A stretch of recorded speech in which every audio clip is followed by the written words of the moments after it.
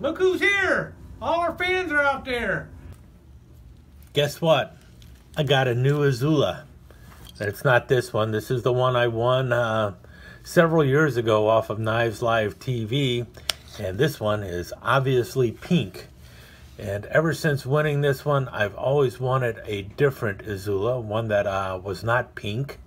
Um, yes, I could have stripped this one down, and I thought about stripping it down many a times, but I'm glad I did not because, as you can see here, that is Rat Cutlery Company, which marks this as one of the earlier Izulas, and this is also in pink, which is an uncommon color. They just don't make a lot of them in pink. So it's kind of a collector's item.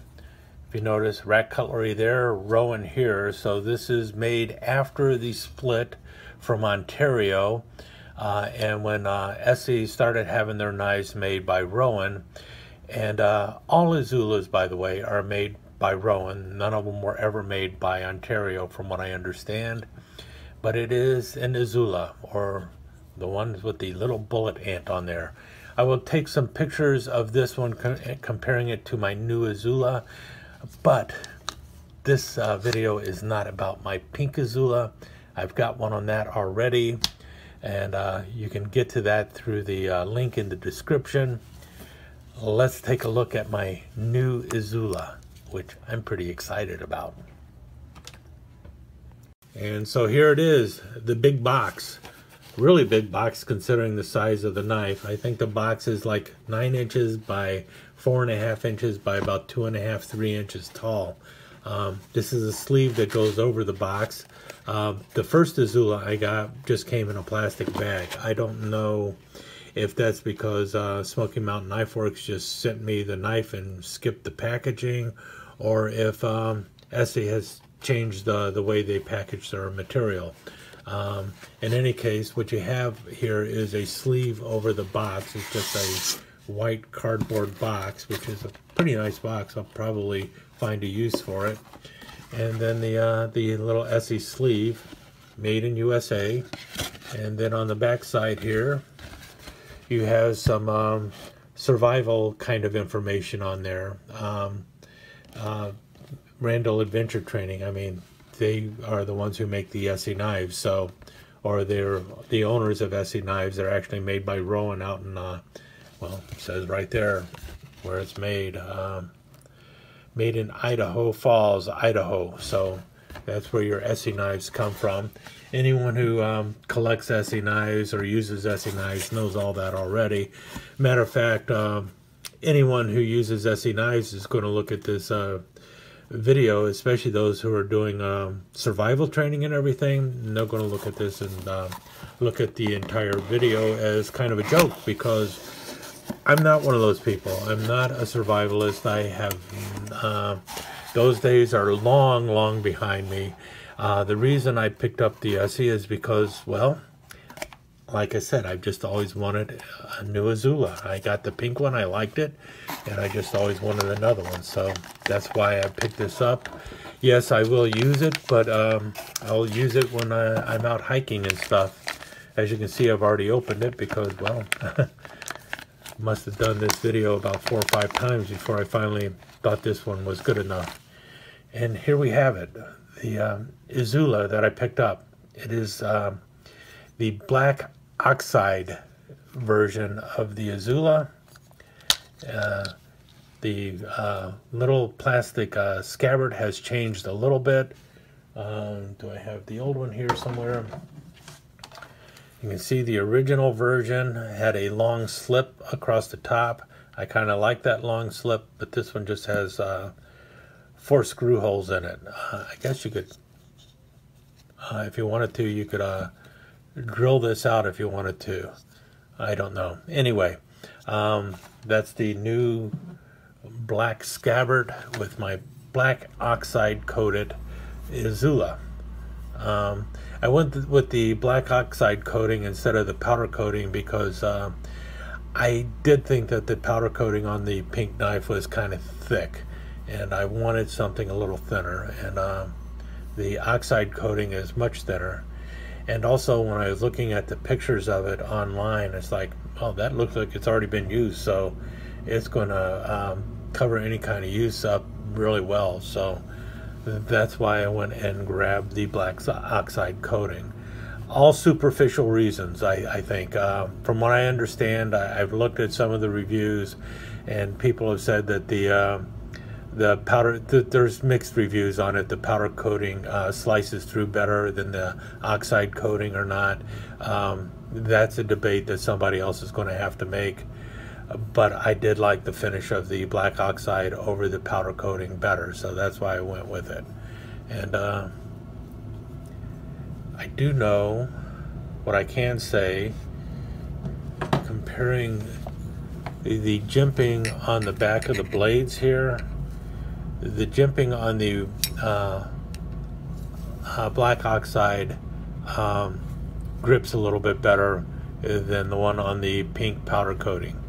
So now that might be because this one is 10 years old and this one is a newer um, um, newer uh, Izula, so they may have improved the jimping.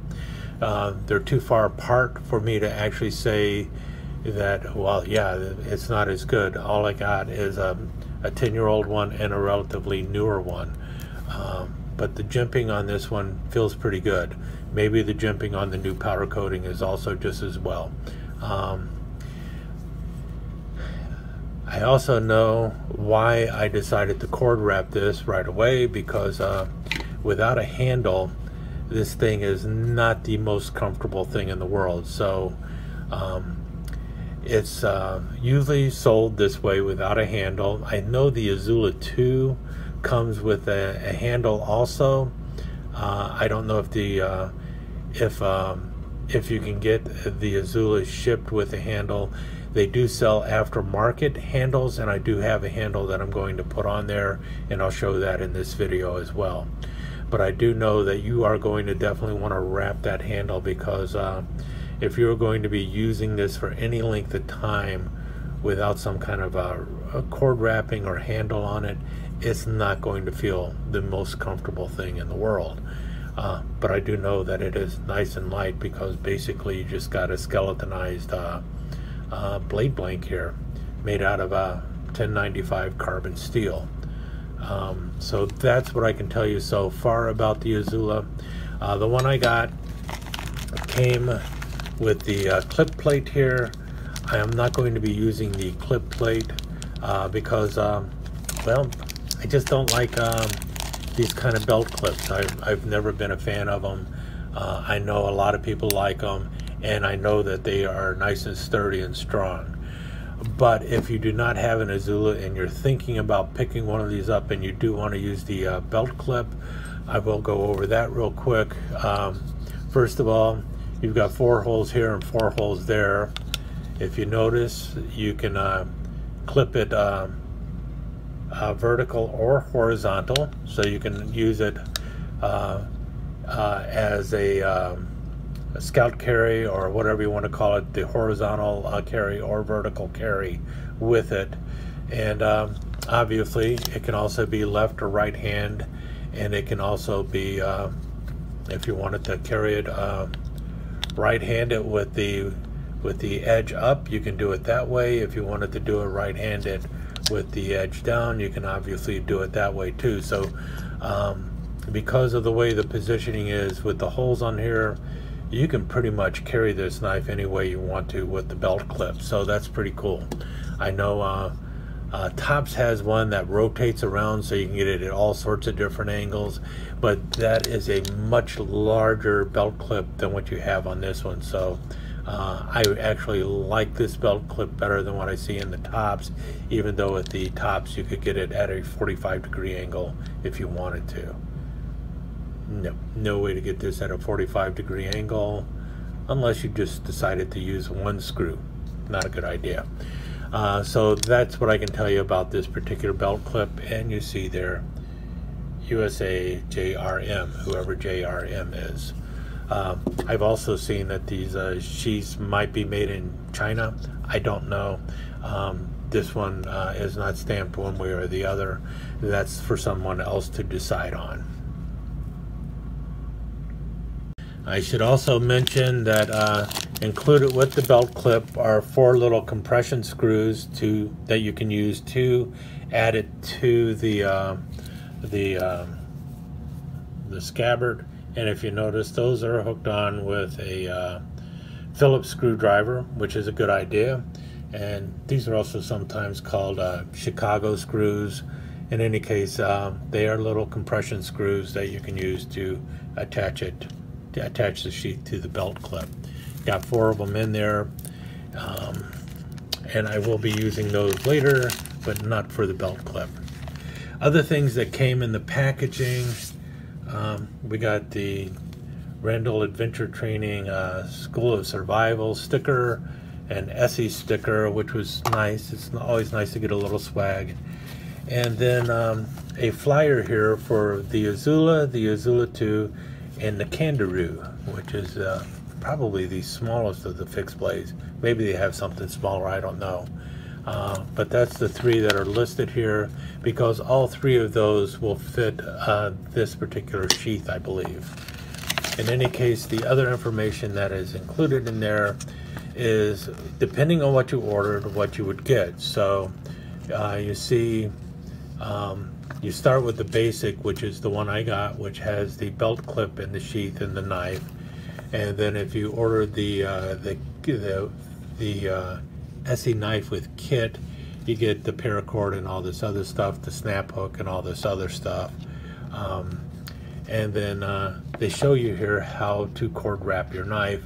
Uh, I followed that instruction when I did the uh, the pink cord wrapping, pretty much, and uh, I was very impressed with how easy it is to do that. So uh, and that is probably the least expensive way to um, to put a handle on there is the cord wrap it, but I went ahead and went beyond that. And you see here the snap hook that you can also use or belt carrying using paracord, so you could also just tie it to your uh, your belt if you did not want to use the uh, clip. So there's all sorts of different things that come in the little packaging.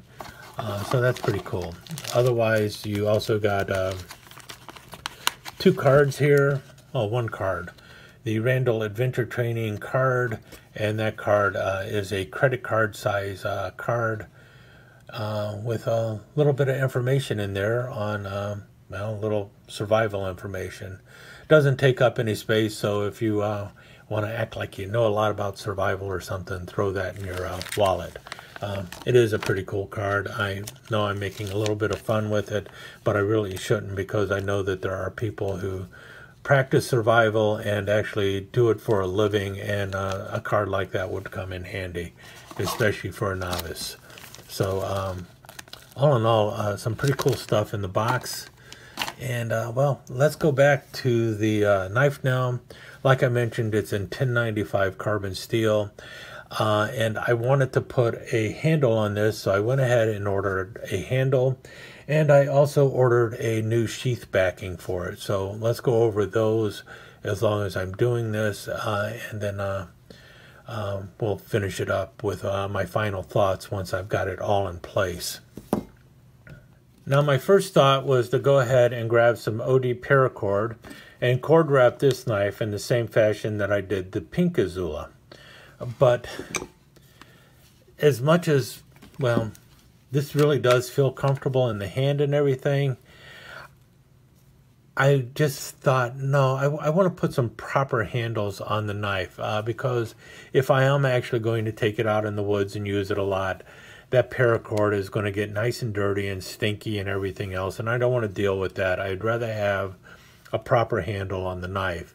I've always thought of uh, cord wrapping a handle as something you do as a field expedient when something is broke. They they look great, but um, that really isn't um, should not be your first choice. That that's just my opinion.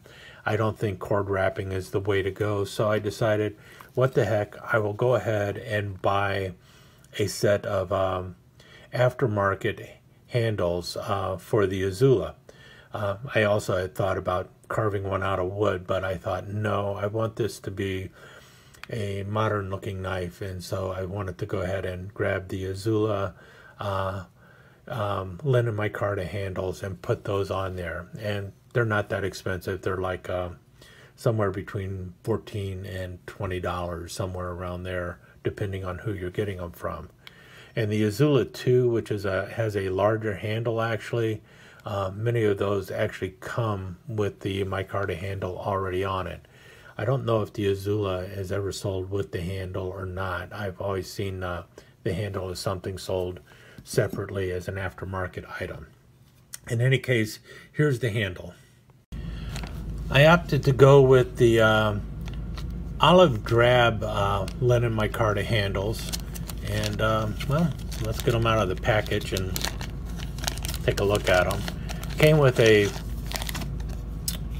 basically a business card, again with the survival information on the back and all the uh, contact information and everything. And here are the handles. And uh, the first thing I saw when I looked at that is that is not olive drab. It looks, um, I guess it could be, but it is a very light color.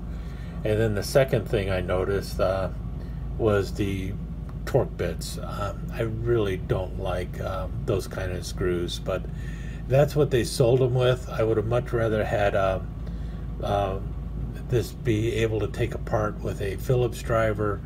But what you need in order to um, take the handles on and off is a uh, T15 Torx bit, and so and as it is on both sides, you basically need two of them in order to do this easily because it will spin on you. And uh, it is already spinning but it's not too tight up. Oh, going the wrong got the wrong side.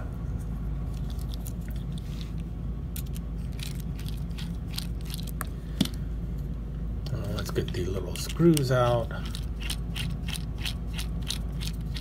and once you get the handle apart it comes uh, with the screws in place. So once you get the handle apart you'll see what you have here.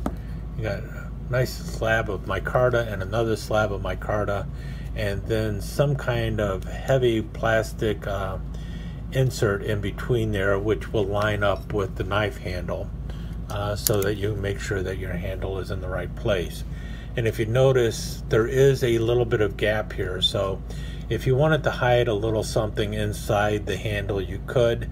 Um, you could also possibly even drill this out a little bit and or sand it down a little bit and make it even thinner so that you could put more stuff on the inside of the handle. Um, but you're really not going to get much inside there. It is, um, there's just not that much space. Um, can you see there? Looks like about an eighth of an inch of a space in there, maybe a little less, maybe a little more. And then you can uh, get your handle on place and then screw it on.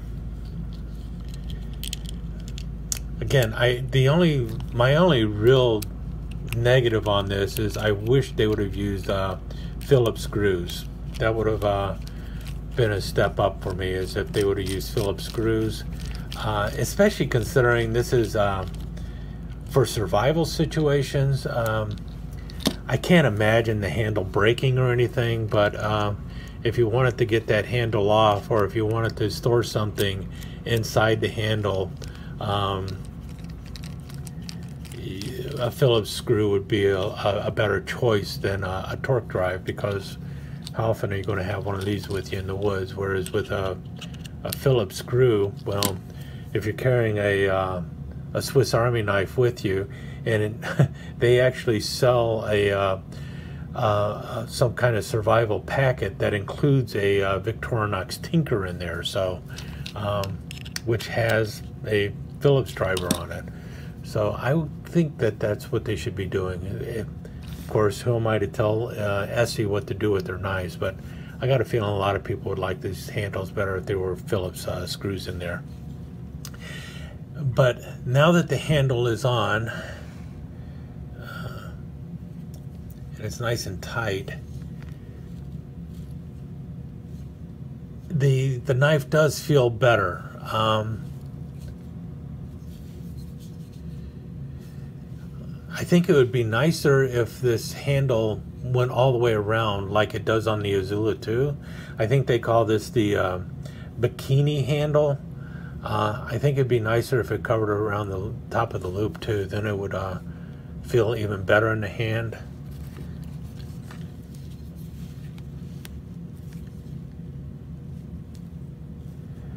Yeah, you know what? Um,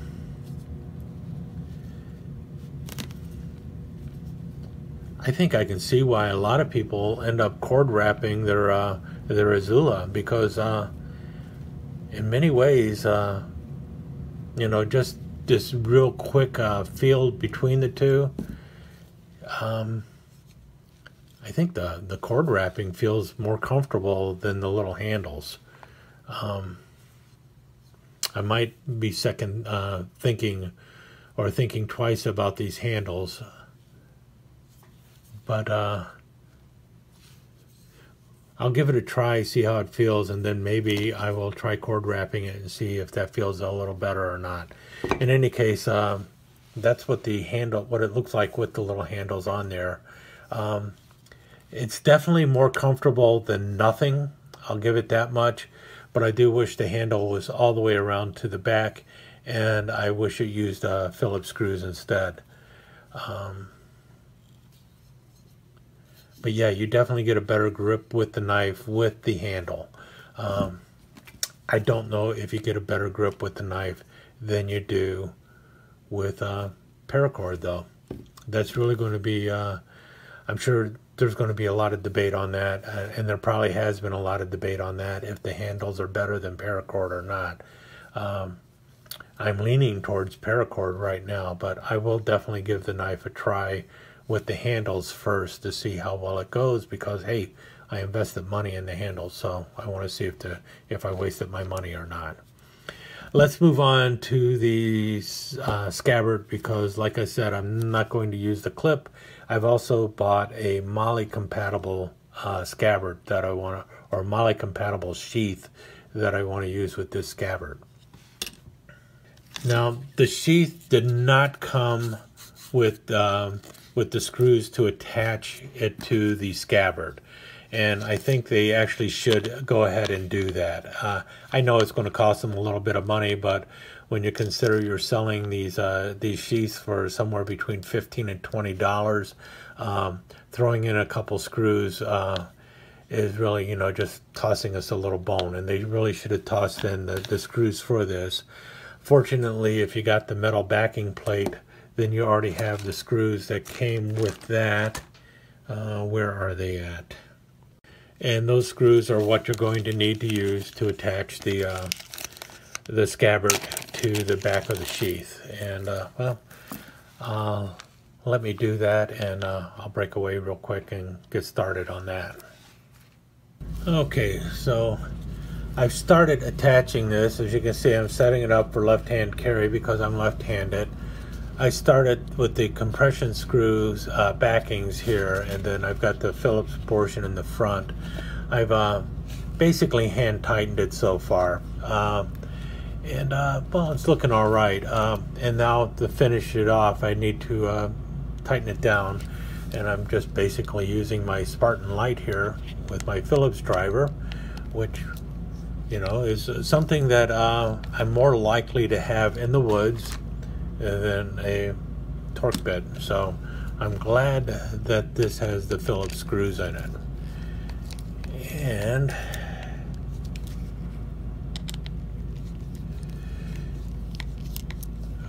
what I'm doing is I'm going opposite screws like you would do with a uh, when you're changing a tire so that I can get this uh, tightened all around uh, with about the same amount of uh, torque on the screws. I don't want to over tighten but I do want to make sure it doesn't come loose. I suppose um, depending on how you feel you could uh, also put the, the Phillips heads in the back. I figured I wanted the Phillips in the front so I can tighten them if I need to easily. Um, I don't want to deal with having to take it off or anything to tighten it up. You got four screws, so the chances of all of them coming loose at the same time and falling out are pretty much slim and none unless you're an idiot. Um, you have this would be the hole for your tie down so your tie down is still uh, based off of the scabbard. It does not pass all the way through here. Uh, and then, uh, well, you hook your knife in there. It is uh, backed off a little bit so that the handle uh, does not get in the way. A little hard to push in, but comes out easy enough. Um, Got to remember, I'm not actually. This is a brand new sheath too. Got to break it in a bit. Um, and then if you notice up here, you've got this green elastic thing here. And that is um, a second way to secure the knife. And it is tight. Uh, but once you have the knife like that, uh, the odds of it falling out are slim and none, regardless of how you're carrying it. You could actually carry this upside down and it's not going to fall out. And and this is the second point of um, restraint on the knife, and that basically is what turns this um, type of uh, MOLLE sheath into a jump certified sheath. So is that important to me? Not really. I'm, I'm not a paratrooper or anything, but if someone were using the uh, Izula in the military or something, then this uh, this sheath would make a lot more sense to them. Or if anyone were just um, you know using this knife uh, while while parachuting or anything, uh, it would become in it would come in really handy because uh, the chances of the knife falling out are pretty much slim and none. And in order for a sheath to be considered uh, jump certified, it needs two retaining points. So you have the uh, the lock and the sheath acting as one retaining point, and this up here acting as a second retaining point, and it really has the knife secure. This could also become really handy if somebody were doing something like um, rock climbing or anything else where the, the potential uh, though slim, uh, the potential of the knife falling out is there. And then if you want the uh, knife more readily available, you just don't put the uh, the nylon uh, or this uh, elastic band across the top. Um, right now, the sheath I, it really locks up tight. Um, but I'm pretty happy with it. I, I do like the fact that this is something that I will be able to hang off of my belt a little bit easier than the belt clip.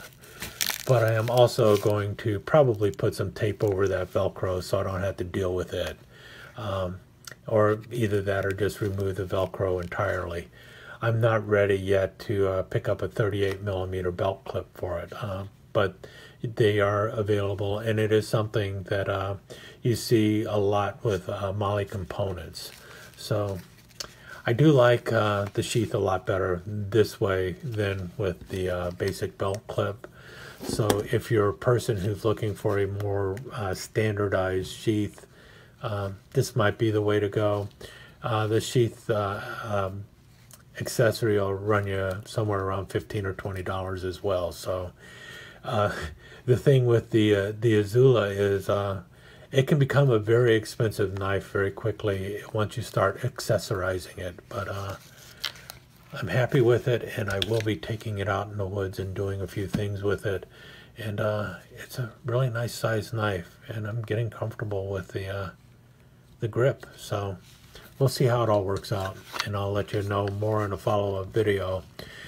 But right now, there's my new Izula and I'm pretty happy with it.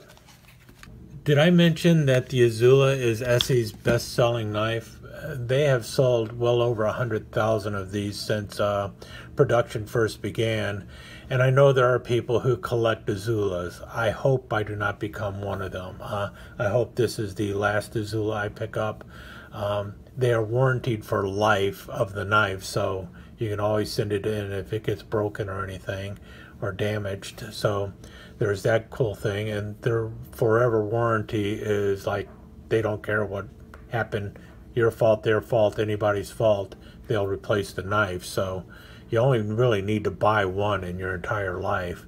Yet they've sold well over a hundred thousand of these, and uh, well, the other thing about them is because of all the little add-ons and uh, doodads that you can get with it. It is also a knife that will nickel and dime you to death. So be careful if you decide to pick up an Izula because they are pretty cool, but they can also become very expensive.